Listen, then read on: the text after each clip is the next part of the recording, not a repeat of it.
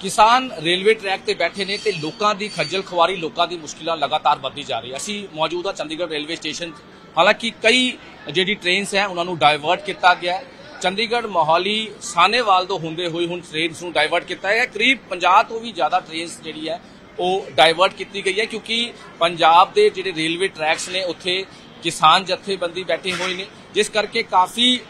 ਲੋਕਾਂ ਨੂੰ ਤਾਂ ਖੱਜਲ ਖਵਾਰੀ ਹੋ ਰਹੀ ਹੈ, ਲੇਕਿਨ ਟ੍ਰੇਨਸ ਨੂੰ ਵੀ ਕਾਫੀ ਡਾਇਵਰਟ ਕੀਤਾ ਗਿਆ ਯਾਨੀ ਕਿ ਜਿੰਨੇ ਵੀ ਪੰਜਾਬ ਦੀ ਟ੍ਰੇਨ ਚੱਲ ਰਹੀ ਸੀ, ਉਹਨਾਂ ਨੂੰ ਰੱਦ ਕੀਤਾ ਗਿਆ ਔਰ ਹੁਣ ਤੱਕ ਦੀ ਅਸੀਂ ਗੱਲ ਕਰ ਲਈਏ, ਕਰੀਬ 400 ਤੋਂ ਵੀ ਵੱਧ ਟ੍ਰੇਨਸ ਨੂੰ ਰੱਦ ਕੀਤਾ ਗਿਆ ਜਿਸ ਕਰਕੇ ਲੋਕਾਂ ਦੀ ਜਿਹੜੀ ਪਰੇਸ਼ਾਨੀ ਹੈ, ਉਹ ਕਾਫੀ ਜ਼ਿਆਦਾ ਵੇਖਣ ਨੂੰ ਮਿਲ ਰਹੀ ਹੈ। ਹੁਣ ਚੰਡੀਗੜ੍ਹ ਰੇਲਵੇ ਸਟੇਸ਼ਨ ਦੀ ਅਸੀਂ ਗੱਲ ਕਰ ਲਈਏ, ਕਾਫੀ ਜ਼ਿਆਦਾ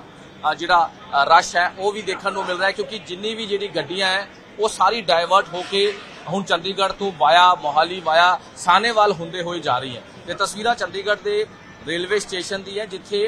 ਕਾਫੀ ਜ਼ਿਆਦਾ ਜਿਹੜੀ ਫਿਰੋਜ਼ਪੁਰ ਦੀ ਇਹ ਫਿਰੋਜ਼ਪੁਰ ਅ, ਧਨਬਾਦ ਹੁੰਦੇ ਹੋਏ ਇਹ ਕਾਫੀ ਡਾਇਵਰਟ ਹੁੰਦੇ ਇਹ ਟ੍ਰੇਨ ਜਿਹੜੀ ਹੈ ਉਹ ਜਾ ਰਹੀ ਹੈ ਜਿਸ ਕਰਕੇ ਲੋਕਾਂ ਨੂੰ ਕਾਫੀ ਜਿਹੜਾ ਹੈ ਉਹ ਰੂਟਸ ਚੇਂਜ ਕਰਦੇ ਨਜ਼ਰ ਆ ਰਹੇ ਨੇ ਹਾਲਾਂਕਿ ਕਿੰਨੇ ਦਿਨ ਇਹ ਚੱਲਣਾ ਹੈ ਕਿੰਨੇ ਦਿਨ ਅ, ਚੱਲਣਾ है लेट हो रखी है इतनी ज्यादा लेट हो रखी है ट्रेनें अभी ती- पीछे जो है अ, गंगा स- ये ये जो आई है इसको तीन ट्रेनें बदल करके मैं खुद ही आ रहा हूँ। अभी ये पीछे अम्बाला खड़ी हुई है गाड़ियाँ और साथ सात सात नौ नौ घंटे लेट है ट्रेन गाड़ियाँ चल रही है तो इनका कैसे किया जाए बताइए सर?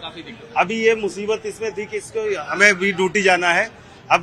डेढ़ डेढ़ दो दो घंटे तीन तीन घंटे लेट हो जाते पर डे का काम यही है तो मैं हम क्या कर सकते बताइए? सर कहाँ से हो आप? मैं लोकल चंडीगढ़ से सर। किस तरह से दिक्कत आ रही है? सर सुबह से खड़े हैं सात पचास की ट्रेन थी अभी तक नहीं आई है नंगल के लिए। अच्छा। हाँ वेट कर रहे हैं कह रहे आ रही है दस मिनट तक पर अभी तक नहीं आई सुबह से। यानी कि काफ़ी जो है वो दिक्कतें देखने को मिल रही परिवार भी है। सर कहाँ जाना आप दिल्ली जाना है। तो अभी है ट्रेन का कुछ हाँ अभी ट्वेल्व बारह बजे शताब्दी अच्छा तो क्योंकि पंजाब में किसान बैठे हैं काफी डाइवर्ट की गई है रद्द की गई है दिक्कतें तो काफी पेश आ रही हैं हाँ थोड़ी दिक्कतें आ रही है बट अभी ठीक है ਠੀਕ ਹੈ ਕਈ ਅ, ਜਿਹੜੀ ਦਿੱਕਤਾਂ ਹੈ ਉਹ ਲੋਕਾਂ ਨੂੰ ਜ਼ਰੂਰ ਸਾਹਮਣੇ ਆ ਰਹੀ ਹੈ ਪੇਸ਼ ਆ ਰਹੀ ਹੈ ਜਿਸ ਨੂੰ ਲੈ ਕੇ ਜਿਹੜੀ ਫੈਮਲੀਆਂ ਹੈ ਜਿਹੜੇ ਲੋਕ ਨੇ ਉਹ ਕਾਫੀ ਜਿਹੜਾ ਹੈਗਾ ਖੱਜਲ ਖਵਾਰੀ ਸਾਹਮਣੇ ਦੇਖਣ ਨੂੰ ਮਿਲ ਰਹੀ ਹੈ ਹਾਲਾਂਕਿ ਹੁਣ ਕਦ ਤੱਕ ਇਹ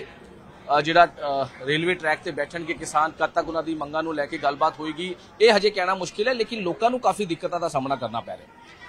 ਚੰਡੀਗੜ੍ਹ ਤੋਂ ਕੈਮਰਾਮੈਨ ਸਨਪ੍ਰੀਤ ਸਿੰਘ ਨਾਲ ਪ੍ਰੋਗਰਾਮ ਦੀ